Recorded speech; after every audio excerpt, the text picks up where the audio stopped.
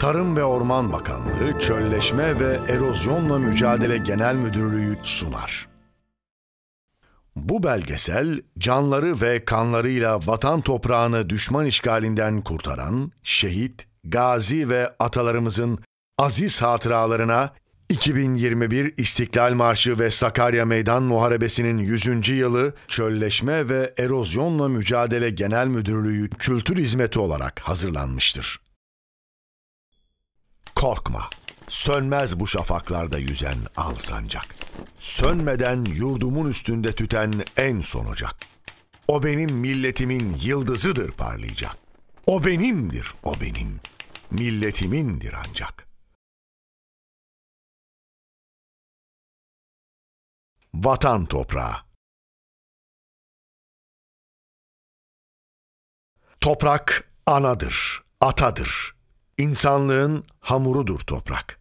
Uğruna can verilen toprak vatandır. Bu toprakların vatan olmasında atalarımız büyük bedeller ödedi. Aziz vatan toprağı uğruna sayısız şehitler verildi. Cepheden cepheye koşan, yıllarca vatan toprağını savunarak Anadolu'yu bize ebedi yurt yapan ecdadın torunları olarak dedelerimize borcumuz var.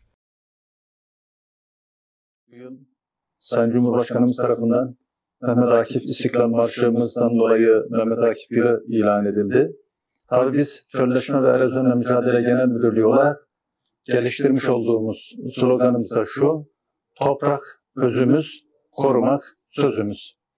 Bizim her türlü çalışmalarımızda toprağın önemine, bizim hamurumuzda toprak, insan olarak bizim hamurumuzda toprak.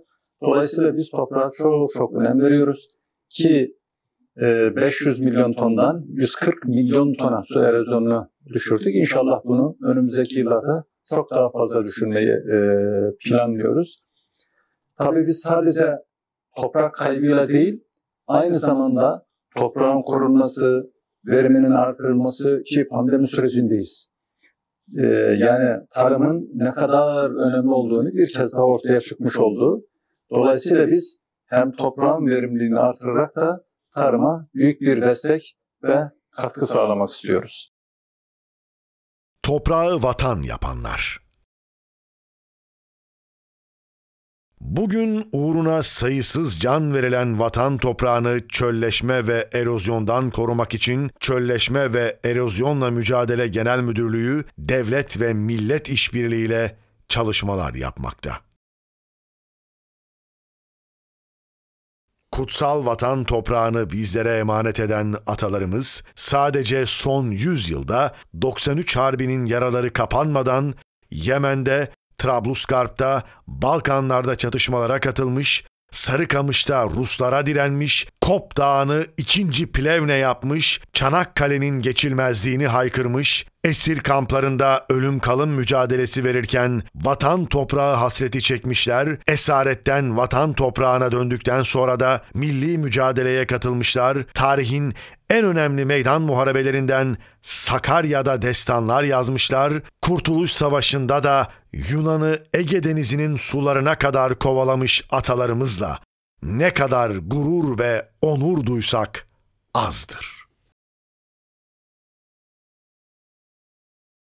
Dur yolcu, bilmeden gelip bastığın bu toprak bir devrin battığı yerdir. Eğil de kulak ver, bu sessiz yığın bir vatan kalbinin attığı yerdir.''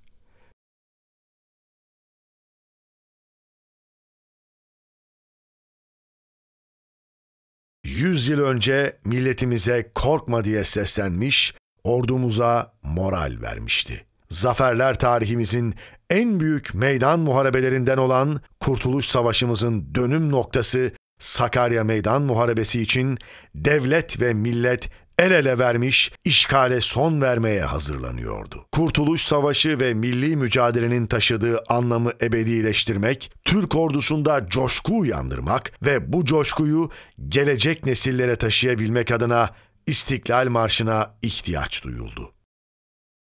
Genelkurmay Başkanlığı'nın isteği üzerine Milli Eğitim Bakanlığı tarafından 7 Nisan 1920'de gazetelere verilen ilanlarla İstiklal Marşı için bir yarışma düzenlendi. seçilen marşın güftesi ve bestesi için 500'er lira para ödülü verilecekti. Yarışmaya 724 şiir katıldı. Şiirlerin hiçbiri beklenilen başarıya ulaşamadı. Milli Eğitim Bakanı Hamdullah Supi Tanrıöver, Mehmet Akif'e başvurdu.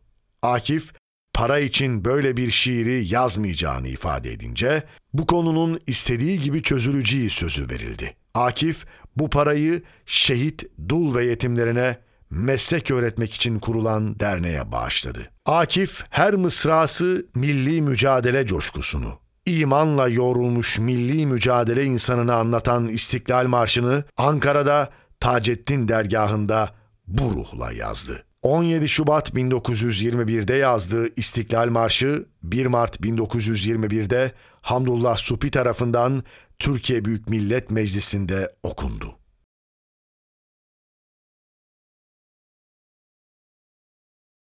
Çatma, kurban olayım çehreni ey nazlı hilal. Kahraman ırkıma bir gül, ne bu şiddet bu celal. Sana olmaz dökülen kanlarımız sonra helal. Hakkıdır hakka tapan, milletimin istiklal. İstiklal Marşı coşkusu Yüz yıl sonra Türkiye Büyük Millet Meclisi, mecliste grubu olan tüm partilerin katılımı ve milletvekillerinin oy birliğiyle 2021 yılı İstiklal Marşı yılı ilan edildi. Çölleşme ve Erozyonla Mücadele Genel Müdürlüğü olarak İstiklal Marşı yılı dolayısıyla kültürel etkinlik yapmak, gençlerimize istiklal ve istikbal ruhu ve heyecanı vermek için Vatan Toprağı adlı bu belgeseli hazırladık. 100 yıl sonra da gençlerimiz Akif'i rol model alıyor, kutsal vatan toprağını koruyor, İstiklal Marşı ruhuyla yetişip istikbalimizin teminatı olmaya devam ediyor. Vatan topraklarını bize emanet eden aziz şehitlerimiz ve ecdadımıza layık olmayı sürdürüyor. Toprağımızın özümüz olduğuna ve onu koruyup geliştirmemizin gerekli olduğuna inanıyoruz. Bastığın yerleri toprak diyerek geçme tanı. Düşün altındaki binlerce kefensiz yatanı. Sen şehit oğlusun. İncitme, yazıktır atanı. Verme dünyaları alsan da bu cennet vatanı.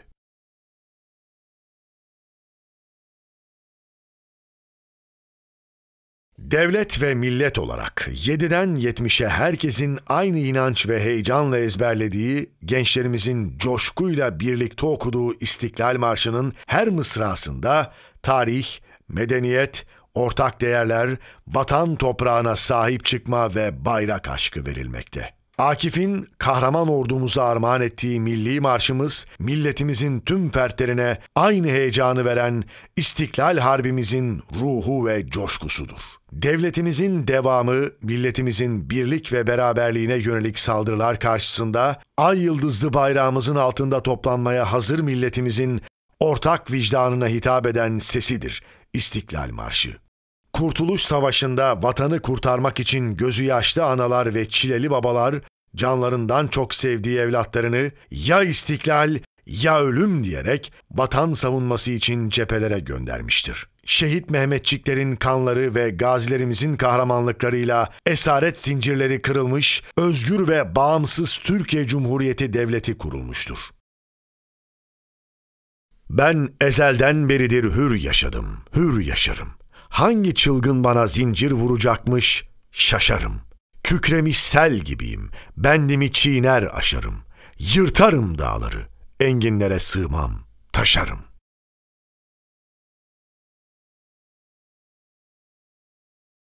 Sakarya'dan zaferler tarihi akar. Toprak der basar geçeriz ama toprak bayrakları bayrak yapan, uğrunda şehit olunan en kıymetli varlığımızdır. Toprak deyip basıp geçme, düşün.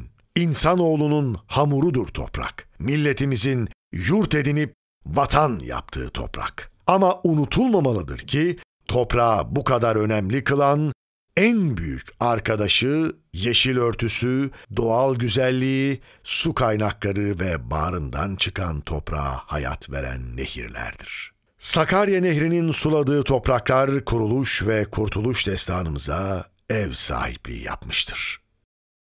Sakarya Nehri'nden sadece su akmaz. Zaferler tarihimizde akar. Osmanlı'dan Türkiye Cumhuriyeti'ne Sakarya Nehri kuruluş ve kurtuluş destanımıza canlı şahitlik de yapmıştır. Sakarya Nehri işgaller yaşamış, zaferler görmüş, hainliklere şahit olmuştur. Kurtuluş Savaşı'nın dönüm noktası olan Sakarya Meydan Muharebesi'nin zaferle sonuçlandığı Sakarya Nehri'nin beslediği topraklar başta olmak üzere tüm vatan topraklarımız günümüzde sinsi düşman, kuraklık, çölleşme ve erozyon tehlikesi altındadır. Toprağımızın en büyük düşmanlarından birisi de çölleşme ve erozyondur. Toprak erozyonla kaybolup gittiğinde bir daha geri kazanılmayan bir servettir. Toprak çölleşmeden canımız gibi korumamız gereken ecdat yadigarı mirasımızdır. Büyük zorluklarla kazanılan bu toprakların çölleşme ve erozyondan korunması sadece çölleşme ve erozyonla mücadele genel müdürlüğü çalışanlarının görevi değildir. Gelin hep birlikte vatan topraklarımızı koruyalım. Çölleşme ve erozyonla mücadele genel müdürlüğünün çalışmalarına destek olalım. Tarihler 23 Nisan 1920'yi gösterdiğinde Türkiye Büyük Millet Meclisi açılır. Tüm Anadolu Mustafa Kemal Paşa ve silah arkadaşlarıyla Milli Kurtuluş Seferberliği başlatırlar. Yunan ordusu Büyük Millet Meclisi'nin bulunduğu başkent Ankara'nın yanı başında Polatlı ve Haymana'ya kadar gelmiş. Sakarya Ovası askeri tarihlerin kaydettiği en uzun sürecek meydan muharebesine hazırlanıyor. Gazi Mustafa Kemal Paşa'nın tarihe geçen şu sözleri Anadolu topraklarında yankılanıyordu. Hattı müdafaa yoktur, sathı müdafaa vardır. O satı bütün vatandır. Vatanın her karış toprağı vatandaşın kanıyla ıslanmadıkça terk olunamaz. Gazi Mustafa Kemal Atatürk Zaferler tarihimize altın harflerle geçecek Sakarya Meydan Muharebesi için ordumuz hazırlık yapar. 22 gün, 22 gece sürecek tarihin en uzun meydan muharebesi için Başkomutan Mustafa Kemal Paşa'nın önderliğinde devlet ve millet Kuvayi Milliye ruhuyla tek yürek olmuştu. Viyana'da başlayan geri çekilme 238 yıl sonra durdurulacak, karşı taarruz başlayacak, düşmana dur denecekti. Yunanlıların şiddetli taarruzlarına karşı ordumuz yer yer geri çekilmek zorunda kalır. Sakarya Ovası, Polatlı ve Haymana bölgesindeki köyler, vadiler ve dağlar tarihin en uzun süreli meydan savaşına sahne olmakta, gönüllü alaylardan oluşan ordumuz vatan toprağını savunmak için etten ve kemikten kaleler örmektedirler. Mehmetçik kanıyla zaferler tarihimize altın harflerle geçecek Sakarya Meydan Muharebesi destanını yazar.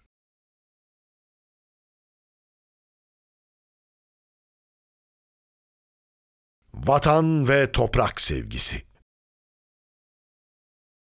Birinci Dünya Harbi ve Kurtuluş Savaşı'nda vatanı kurtarmak için gözü yaşlı analar ve çileli babalar canlarından çok sevdiği evlatlarını ya istiklal ya ölüm diyerek vatan toprağını savunması için cephelere göndermiştir. Şehit Mehmetçiklerin kanları ve gazilerimizin kahramanlıklarıyla esaret zincirleri kırılmış, vatan toprağı kurtulmuş, özgür ve bağımsız Türkiye Cumhuriyeti Devleti kurulmuştur.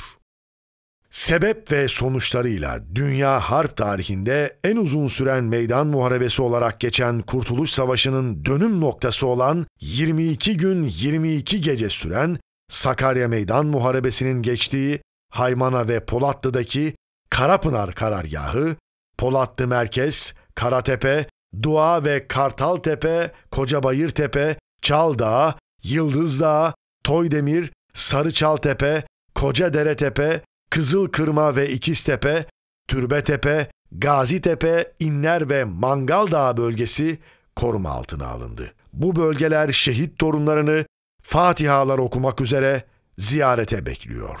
Zaferler tarihimize adını altın harflerle yazdıran Sakarya Meydan Muharebesi'nin geçtiği vatan toprakları gelecek nesillere milli bir miras olarak bırakılması için devletimiz bölgeyi tarihi milli park ilan ederek koruma altına alıp anıtlar ve şehitlikler yaptı. Çölleşme ve erozyonla mücadele Toprak, canlıların hayat kaynağıdır.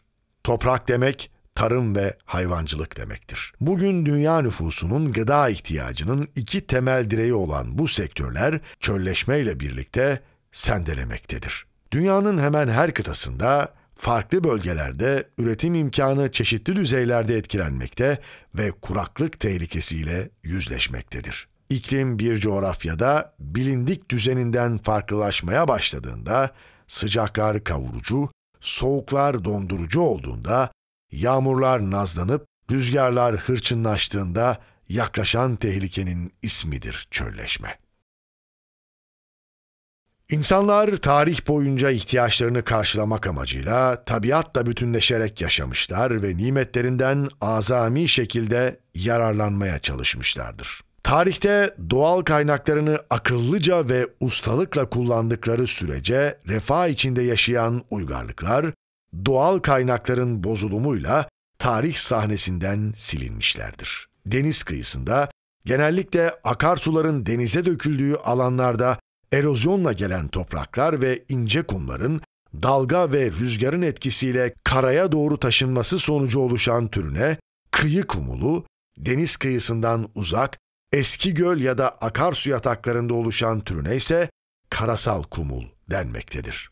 Kumullar kendine özgü flora ve faunasıyla ekosistemin önemli bir parçasıdır. Türkiye'nin çölleşme tehlikesiyle karşı karşıya kalmasındaki en önemli etmen olarak erozyon karşımıza çıkmaktadır. Sahip olduğumuz arazilerden yer değiştiren toprağın yani erozyonun %53.66'sı mera, %38.71'i tarım alanlarında ve %4.17'si orman alanlarında meydana gelmektedir. Çeşitli şiddetteki erozyonların etkisinde kalmakta, Türkiye'nin büyük bir bölümü çölleşme riski altında bulunmaktadır.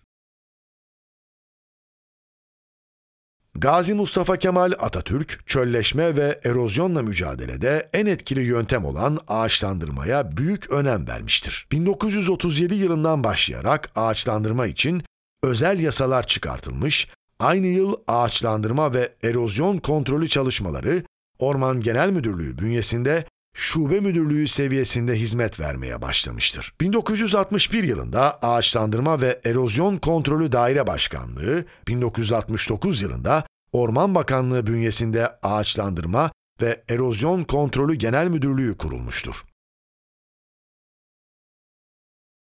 Her ülke kendi topraklarında sürdürdüğü çölleşmeyle mücadele çalışmasıyla aslında dünyanın tamamının geleceğine bir yatırım yapmaktadır. Birleşmiş Milletler Çölleşmeyle Mücadele Sözleşmesi bu anlayışın bir sonucudur ve Türkiye 1998 yılında bu sözleşmeye taraf olmuştur. Bu sorumluluğun bir parçası olarak çölleşmeyle mücadele ulusal eylem programı hazırlanarak 2005 yılında yürürlüğe konulmuştur. Büyük bir ivme kazanan çalışmalarda en önemli adımsa 2011 yılında atılmış, dünyada bir ilk gerçekleştirilerek Çölleşme ve Erozyonla Mücadele Genel Müdürlüğü kurulmuştur.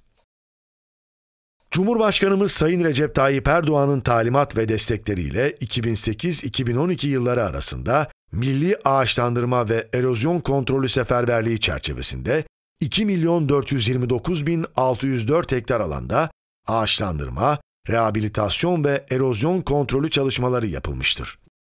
Tarım ve Orman Bakanlığımızın büyük önem verdiği 2013-2017 yılları arasını kapsayan erozyonla mücadele, yukarı havza sel kontrolü ve baraj havzaları, yeşil kuşak ağaçlandırma ve maden sahaları rehabilitasyon eylem planları başarıyla hayata geçirilmiştir. İlgili tüm kurum, kuruluş, STK ve üniversitelerin katkılarıyla UNCCD'nin stratejik çerçeve belgesi ve sürdürülebilir kalkınma amaçlarını gözeterek 2019-2030 dönemini kapsayan çölleşme ile mücadele ulusal stratejisi ve eylem planı bu alandaki en kapsamlı çalışmalar arasında yer almaktadır. Türkiye'nin çölleşme başta olmak üzere doğal kaynakların korunmasına yönelik çalışmaları uluslararası arenada da ses getirmiş ve yeni sorumlulukların kapısını aralamıştır. Tecrübemizi ve uzmanlığımızı Afrika, Asya, Orta Doğu ve Balkan ülkeleriyle Türk Cumhuriyetlerinin hizmetine sunarak 108 ülkeden uzmana teknik eğitim verilmesi bu gerçeğin açık bir göstergesidir. 2015 yılında Birleşmiş Milletler Çölleşme ile Mücadele Sözleşmesi Taraflar Konferansı'nın 12.si sözleşmeye taraf 195 ülkeden bakanlar, Avrupa Birliği temsilcileri, parlamenterler, iş adamları, sivil toplum kuruluşları ve ülke delegasyonlarının katılımıyla Ankara'da gerçekleştirilmiştir. Yaklaşık 6700 kişinin katıldığı ve Türkiye'de gerçekleştirilen en büyük Birleşmiş Milletler Organizasyonu olan bu konferansta alınan en önemli kararlardan biri Ankara girişimi olmuştur. Küresel ısınma, iklim değişikliği, çölleşme ve kuraklık günümüzün en önemli meseleleri arasında yer alıyor. Bugün hepimizi etkileyen bu küresel sorunun esas sebebi insanın kendisine, çevresine ve kadim değerlere yabancılaşmasıdır. Vicdanların çölleştiği bir dünyada toprağın çölleşmesini önlemek mümkün değildir.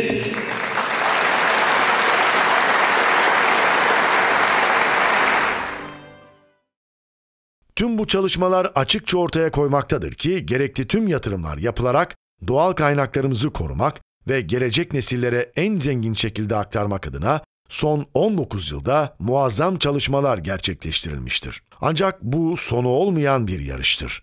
Küresel tehdit, kuraklık ve iklim değişikliğiyle yaşanan sıkıntıların, atlatılan tehlikelerin ve yitirilen değerlerin bir daha tekrar etmemesi sağlanacaktır. Batan toprağının çölleşme ve erozyonla yok olup gitmemesini önlemeye yönelik Çölleşme ve Erozyonla Mücadele Genel Müdürlüğü tarafından yapılan çalışmalar geleceğe dair umudumuzu ayakta tutan hizmetler olarak tarihe geçecektir. İşte yakın zamanda malumunuz Giresun'da bir selim e, oldu ki sadece Giresun değil. Bütün Türkiye'nin genelinde bu tür afetler olduğundaki Rabbim bütün afetlerden ülkemizi, insanlığı muhafaza eylesin. Biz hemen akabinde Giresun'a gittik. Giresun'da üniversiteden hocamızla beraber gittik. Genel bir alanı taradık. E, sel projesi yaptık. İnşallah bu projelerimizi ilgili kurumlara göndererek oradaki projelerin uygulanıp bu sellerden, afetlerden minimum düzeyde en azından inşallah hiç e, zarar görmez. Ama en azından minimize edebilirsek ne ala ne güzel. Dolayısıyla bu to ülkemizin topraklarını, tarımını korumak, kollamak bizlerin en asli görevidir diye düşünüyorum. 2021 İstiklal Marşı ve Sakarya Zaferi 100. yılı.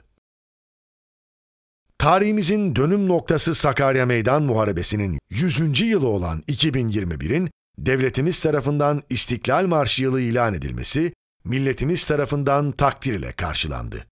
Bu güzel vatan toprağı uğruna can veren aziz şehitlerimiz ve ecdadımıza vefa borcumuzu bir nebze olsun ödemeye çalışan Çölleşme ve Erozyonla Mücadele Genel Müdürlüğü olarak İstiklal şairimiz Mehmet Akif'in gönül telimizi titreten istiklalimizin sembolü dizeleriyle şehitlerimizi rahmet, minnet ve şükranla anıyoruz. 12 Mart 1921 yılında İstiklal ve istikbalimizin sembolü olarak milli marşımız olarak Büyük Millet Meclisi tarafından kabul edilmiş, gençlerimize tarih bilincinin önemi anlatılmış, tarih boyu vatan toprağını, yurt, yuva ve vatan gören milletimiz canı pahasına vatanına sahip çıkıp toprağını korumuştur. İstiklal ve istikbaline sahip çıkan gençlerimiz milli şairimiz Mehmet Akif'i kendilerine rol model alıp İstiklal Marşı ruhunu yaşayıp yaşatmakta. Rengini şehitlerimizin kanından alan ay yıldızlı bayrağımızın altında istiklal ve istikbaline sahip çıkıp kutsal vatan toprağını tüm tehlikelere karşı koruyup kollamak için canla başla çalışmakta. Kim bu cennet vatanın uğruna olmaz ki feda? Şüheda fışkıracak toprağa sıksan şüheda. Canı, cananı, bütün varımı alsın da hüda, etmesin tek vatanından beni dünyada cüda.